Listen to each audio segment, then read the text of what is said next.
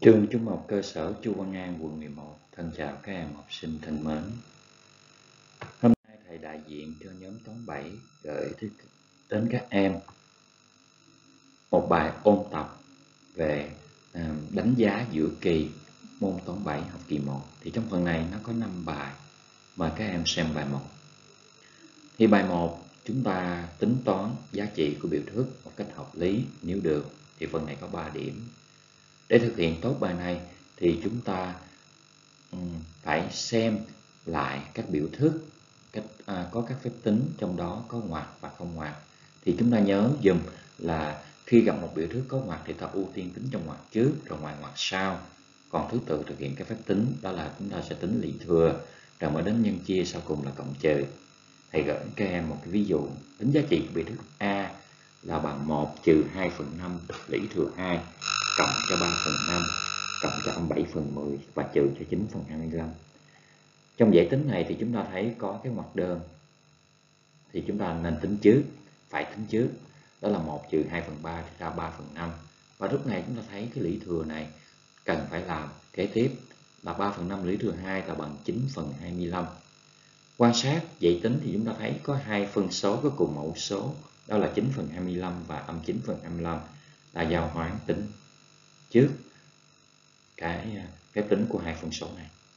Sau đó, ta thấy còn lại phép tính là 3 phần 5 cộng cho âm 7 phần 10 thì chúng ta quy đồng mẫu là 6 phần 10 cộng cho âm 7 phần 10. 9 phần 25 trừ 9 phần 9 phần 25 trừ cho 9 phần 25 bằng 0. 6 phần 10 cộng cho âm 7 phần 10 kết quả là bằng âm 1 phần 10. Thì ở trong cái à, thể loại bài 1 này thì chúng ta chú ý về các công thức về lũy thừa, đó là ta nhân hay chia các lũy thừa có cùng cơ số. Khi gặp hai lũy thừa có cùng cơ số mà nhân với nhau, x mũ e mà nhân cho x mũ. N à, thì chúng ta sẽ ra cái lũy thừa của cơ số x với số mũ là bằng x, là bằng e m cộng n à. còn khi gặp chia hai lũy thừa cùng cơ số x, thì chúng ta sẽ ra lũy thừa vẫn là cơ số x với số mũ là hiệu hai số mũ e m trừ n và trong trường hợp chia thì cái số chia x này phải khác không. Ví dụ, x 1 phần 2 lý thừa 3 nhân cho 1 phần 2 lý thừa 4. Thì ở đây là nhân hai lý thừa cùng cơ số 1 phần 2 thì ta lấy hai số mũ cộng lại với nhau ra 7 và thực hiện phép tính 1 mũ 7 bằng 1, 2 mũ 7 bằng 128. 3 mũ 5 lý thừa 6 chia cho 3 mũ 5 lý thừa 4, đây là chia hai lý thừa cùng cơ số thì là bằng lũy thừa của cơ số đó, vẫn là 3 phần 5 với số mũ bằng hiệu 2 số mũ lấy 6 trừ 4 là 2 3 mũ 2 là 9 5 mũ 2 là 25 còn khi ta gặp lũy thừa khác cơ số thì ta quan sát xem nếu nó có cùng số mũ thì ta áp dụng công thức lũy thừa của một thương hoặc là lũy thừa của một tích. Lũy thừa của một thương, một tích x nhân y lũy thừa m thì bằng x mũ m nhân cho y mũ m. Lũy thừa của một thương x chia cho y mũ n, hoặc ta ghi dạng phân số x phần y mũ n sẽ bằng x mũ n chia cho y mũ n và y ở đây phải khác không. Ta có ví dụ như sau. 1 phần 2 lũy thừa 3 nhân cho 4 phần 3 lũy thừa 3. Đây là nhân hai lũy thừa, không cùng cơ số, nhưng nó có cùng số mũ. Vậy chúng ta thực hiện phép nhân hai cơ số này, còn số mũ là số mũ 3. Vận dụng công thức là x mũ m nhân y mũ m bằng x nhân y lũy thừa m. Thì thực hiện phép nhân và rút gọn thì chúng ta được 2 phần 3 mũ 3 tính nó ra là 8 phần 27. Ví dụ 2 là 3 phần 5 lũy thừa 4 chia cho 3 phần 5, 3 phần 15 lũy thừa 4. Đây là phép chia hai lũy thừa có cùng số mũ 4 và các cơ số. Thì ta lấy hai cơ số này chia cho nhau và đặt bên ngoài là số mũ chung của nó là 4. Thực hiện phép chia và rút gọn chúng ta được 3 mũ 4 bằng 81. Ta bước qua bài 2, đó là bài thể loại tìm x. Thì chúng ta lưu ý tìm số hạng chưa biết của tổng hiệu tích thương thì cái này chúng ta đã làm rất nhiều. Như ví dụ như muốn tìm số hạng chưa biết của tổng, ta lấy tổng trừ số hạng đã biết vân vân. Thì các em có thể về nhà ôm lại, xem lại về cái phần này. Có rất nhiều trong các bài học mà chúng ta đã học trên lớp. Phần thứ hai đó là chúng ta tìm số mũ hay cơ số trong bài toán lý thừa. thì ở đây nó có hai dạng dạng một là hai lũy thừa có cùng cơ số bằng nhau, thì hai số mũ bằng nhau. Đó là a mũ x và a mũ m bằng nhau. Đây là hai lũy thừa có cùng cơ số a bằng nhau, thì suy ra hai số mũ x và m bằng nhau. Dạng thứ hai, đó là trong dạng thứ hai này chúng ta có hai loại, hai lũy thừa có cùng số mũ lẻ bằng nhau, thì hai cơ số bằng nhau. Đó là x mũ 2 là cộng 1 2 n cộng 1 có nghĩa là số lẻ.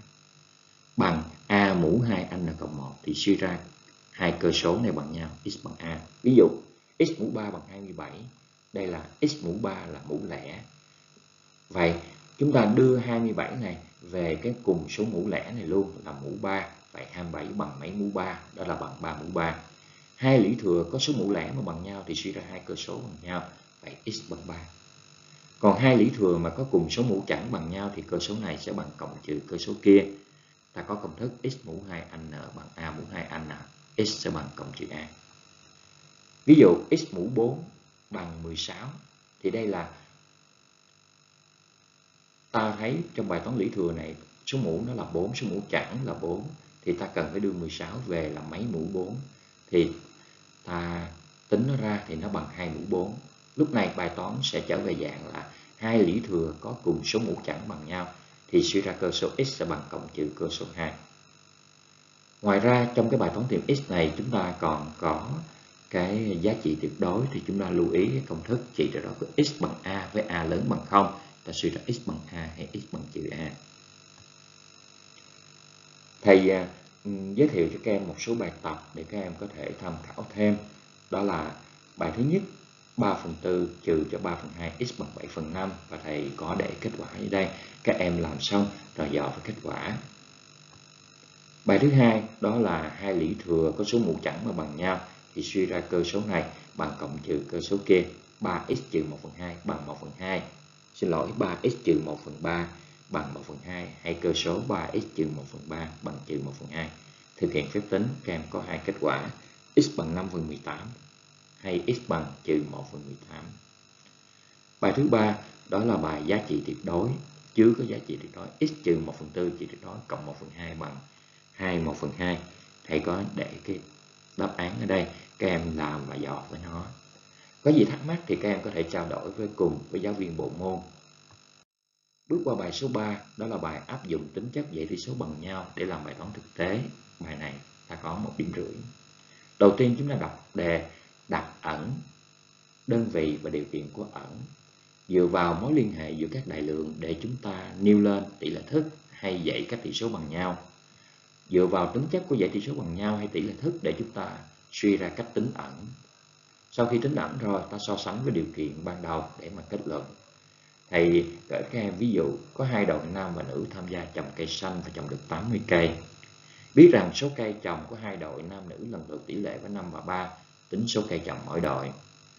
Thì đầu tiên là chúng ta đặt ẩn, ta gọi số cây trồng của đội nam, đội nữ lần lượt là xy điều kiện là xy là số tự nhiên, đơn vị là cây. Và theo đề bài, do hai đội này trồng được 80 cây, ta có x cộng y bằng 80 đội nam, số cây trồng của đội nam tỷ lệ với 5 số cây trồng đội nữ tỷ lệ với 3 cho nên chúng ta có x phần 5 bằng y phần 3 áp dụng tính chất dãy tỷ số bằng nhau ta suy ra được cách tính x phần 5 bằng y phần 3 bằng x cộng y trên 5 cộng 3 thế x cộng y bằng 80 vào, còn 5 cộng 3 là bằng 8 80 chia 8 bằng 10 sau đó chúng ta tính được x phần 5 bằng 10 vậy x sẽ bằng 10 nhân cho 5 bằng 50 y bằng 10 nhân cho 3 thì bằng 30 so sánh hai giá trị này với điều kiện ban đầu là thuộc số tự nhiên, vậy nó thỏa mãn và ta kết luận. Vậy đội nam chậm được 50 cây, đội nữ chậm được 30 cây bước qua bài số 4 thì bài số 4 này là bài thực tế liên hệ đến phần trăm, thì nó chiếm một điểm. Thì à, chúng ta xem lại các bài toán về tăng giảm giá khuyến mãi hoặc là bài toán lãi suất. Thì ở đây thầy gửi đến các em hai bài toán. Nhân mùa khai trường, Quỳnh đi mua sách ở một cửa hàng. Quỳnh đặt, mua hết 500.000 đồng Quỳnh mua hết 500.000 đồng cửa hàng có chương trình khuyến mãi giảm giá 10% nhưng khi tính tiền thì cô Thu Ngân báo cửa hàng giảm thêm 5% trên giá đã giảm dành cho các bạn học sinh đạt giỏi trong niên học vừa qua. Quỳnh trong niên học vừa qua đạt học sinh giỏi, vậy Quỳnh đã phải trả bao nhiêu tiền sách? Thì thầy có để đáp số dưới đây là 427.500 đồng. Các em có thể về nhà tự tính và dò với đáp ừ, ừ, dò với kết quả. Bài số 2. Trong buổi sinh hoạt ngoại khóa, Lan mua một ly trà sữa giá 30.000 đồng. Nhưng khi tính tiền, chủ quán chỉ tính 24.000 và bảo rằng là đã giảm giá cho học sinh. Hỏi chủ quán đã giảm bao nhiêu phần trăm giá tiền ly trà sữa ban đầu thì đáp số đây là 20% thì các em cũng có thể là ghi chép bài này lại để mà làm sau đó dò vào kết quả nếu có gì thắc mắc thì các em có thể liên lạc với lại giáo viên bộ môn trong lớp. Bài số 5 đó là bài hình học. Ta có hai điểm. Thì để làm tốt được bài hình học thì các em cần phải ôn lại kiến thức liên quan đến số đo góc góc vuông hay góc kề bù. Hai góc kề bù thì có tổng số đo 180 độ, cách vẽ tia phân giác trung điểm của đoạn thẳng. Ôn lại dấu hiệu nhận biết, hai đường thẳng song song, vuông góc, tính chất của hai đường thẳng song song. Ôn lại mối liên hệ từ vuông góc đến song song, ba đường thẳng song song biết cánh cách chứng minh hai đường thẳng vuông góc song song, tia phân giác của một góc. Biết cách chứng minh ba điểm thẳng hàng bằng kiến thức hai góc kề bù hay là hai đường thẳng cùng vuông góc với đường thẳng thứ ba, hoặc là tiền đề Euclid thì cái này, nếu các em quên thì các em có thể xem lại tập vở và các em trao đổi với giáo viên bộ môn trong lớp. Thì thầy giới thiệu với các em hai bài toán, bài thứ nhất cho hình vẽ trên, biết A song song với B đường thẳng A vuông góc với đường thẳng AB và góc D1 bằng 55 độ chứng minh đường thẳng B vuông góc với đường thẳng AB thì cái này rất là dễ các em chịu khó xem lại lý thuyết câu B tính góc C2 và bài 2 là cho hình vẽ. Biết góc A1 bằng 50 độ, góc B1 bằng 35 độ. AX song song với BY. Rồi trong góc AOB chúng ta vẽ TOT song song với AX. Đầu tiên, câu A ta tính góc AOT. Câu B chúng ta chứng minh ba tia AXOT và BI song song với nhau. Cuối cùng là chúng ta tính góc AOB. Thầy nhớ không lầm thì bài này chúng ta có đã làm trong sách giáo khoa thì các em có thể xem lại, ôn lại cho thật kỹ. Cái phần hướng dẫn các em ôn tập đến đây là hết. Chúc các em may mắn trong kỳ kiểm tra đánh giá dự kỳ sắp tới. Chào tạm biệt các em, hẹn các em trong các bài sau.